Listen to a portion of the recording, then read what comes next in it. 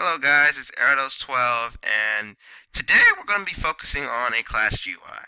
So in Star Wars Front, there's going to be a class GUI with four different classes which are in two different teams or maybe their own team. Droids, Clones, Jedi, and Sith. So, without further ado, let's get started. So see here I have a screen GUI, right? So I insert a frame a force field frame. And then the frame is right here. So if you want to make the frame different than what I'm doing, you can, but let me just show you how you would do that. 0 0.25 in fact, let me make that 4 5. No, 3 5. 3 5. And you want to get 0 0.65, so we're going to do scale. Now when you scale things, it's much easier to use scale.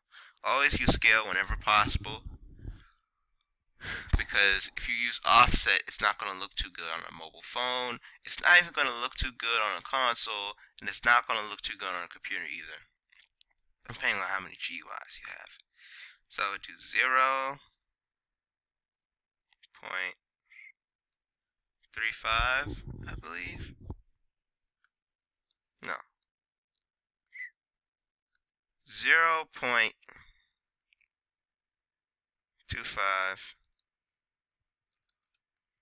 and then we would make this 100 go down a whole lot. So then we would do 0 0.35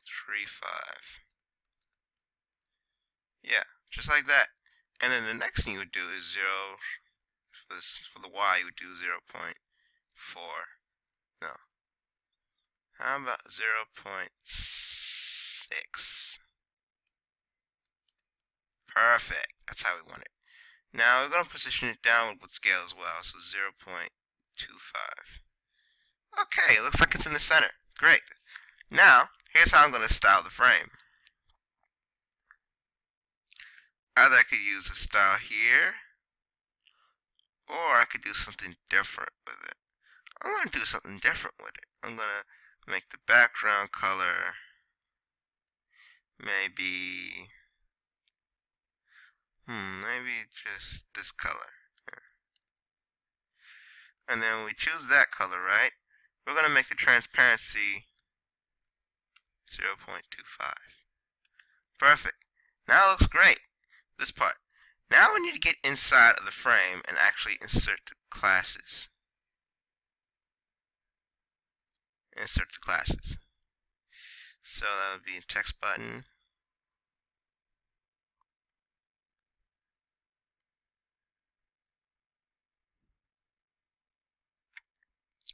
So the name of the text button would be, um, hmm. Oh, text button should be called, no wait, no text button, no text button. Instead, here's what I'm going to do. I'm going to create a frame, not a frame, but I'm going to create two things. A frame and a text label. So I create a text label first, and then a frame. So the text label has to be 0 0.1, I believe, or 0 0.2. Possibly 0 0.2, who knows.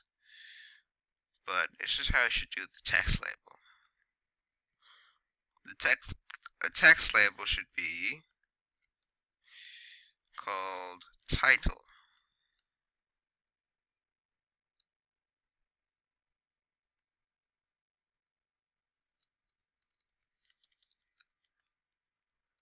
So then I would do size 0 point, actually 1, 0, comma 0.20. Now, actually, let me make this 0.1, just to be on the safe side. No, 0.15. There, perfect. Now, here's what you have to do to make this title visible. You do source sans bold You keep it as size 14, but then you want to make it text scaled.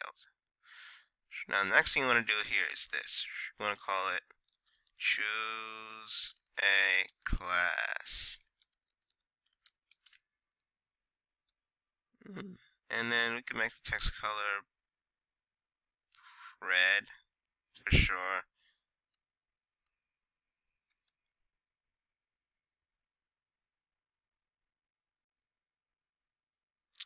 And then you do that, it looks good.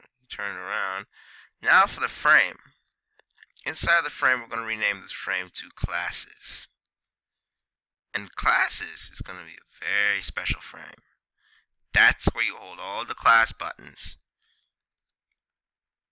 And it could be used to hold other things as well. Use to hold other things as well. Anyways, here's what we can do. So, what I'm going to do is I'm going to take the size and I'm going to go 0 0.1 actually wait. 1 0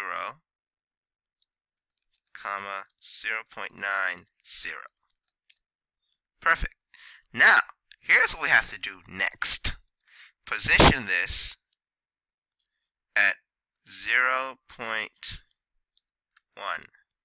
no, not not like that. No. 0 0.1. Perfect. It looks great. And in fact, actually, let's do 0 0.85 since the size is smaller. Yeah, it's better to do that than nothing.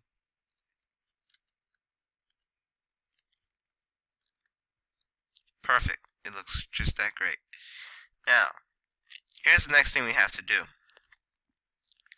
take this, the classes, and we're going to actually make the color different.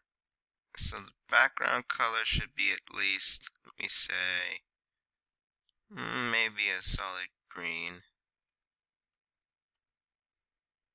It may look festive, but it's not really that festive, it's just contemporary. Anyways, let me just do a text button, and the text button should be just like that, except here's the catch. We have to also make that text button 0.15. 0.15, wait, 1, 0, 0 0.15, 0, and what we do next is is that this button right here is going to be for the Jedi. So I'm going to call it Jedi. Make sure it's in caps if you want to do this one because we will be scripting will require that. We could use a module script and also to define it as well, but we didn't put that in the kit. So, yeah. This is basically what we have here. Like right here is the kit for all the stuff that we're going to be working on in terms of building the Clone Trooper edition of the game. Where you become a Clone Trooper, right? But the Clone Trooper gets different weapons, different HUDs, all that stuff. We might do a Let's Play of Phantom Forces because that's what it's going to be like. Phantom Forces. You'll also be able to buy with Robux some more ammunition if you run out it will be saved in a data store. So be very careful and very wise when you use a DC-158 blaster or any blaster of any type because they do run out quickly. Unless it's a DL-44, then that has an unlimited bullets, but that has to be bought with Robux or with the Game Pass. Anyways, back to what we were doing. Jedi. And then the next thing you can do is See, text scaled. Okay. That looks good, but I want to make sure it's capitalized. And make sure it's source sans bold. You don't have to do it like mine. Now, the next thing you want to do is you want to color code the buttons. Color coding the buttons helps. Jedi should be blue, since they're Jedi, you know. And the next thing you should do is you should make the text color white. And then the text stroke color should, stroke transparency, I mean, should be zero, making it look this good. Now, uh, let me just duplicate the button. And the next thing you'll have is Sith. Now the Sith are not going to be activated just yet. They're going to be deactivated until we actually make the Sith um, course. But there will be a battle droid course, which is actually quite free. It's it's not free, but it's like let me say free of any sort of course, and like the course is much more abstract than you know the Jedi course. The Jedi course is just a straight track. Anyways, back to what we were doing. 0.15 for this. In fact, maybe we'll just focus on the GUI today. The scripting part we will get to next tutorial. Which could be this afternoon, it could be any time. You know. And now you have something that actually looks great. So now duplicate that button again, and this time we're going to change the background color to blue. Pure blue. Now take it down to 0.3.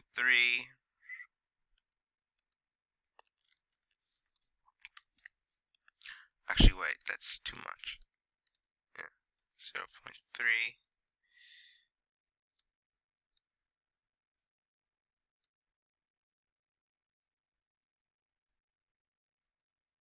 Three one. Actually, just 0.3. Just 0.3 is fine.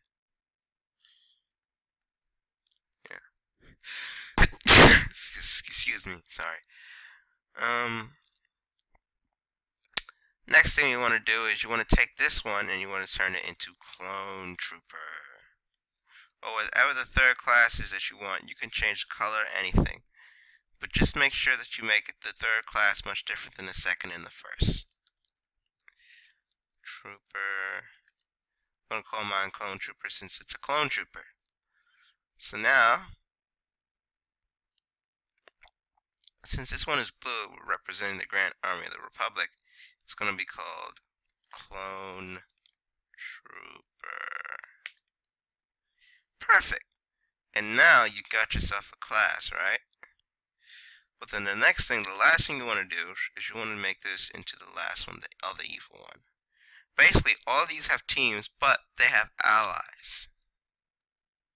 Like each one has a very special ally. For example, this one right here is not supposed to be a clone trooper, so we're going to move it down to 0.45. And ironically, coincidentally, it's actually um, the fourth one, but it has 0.45 on it.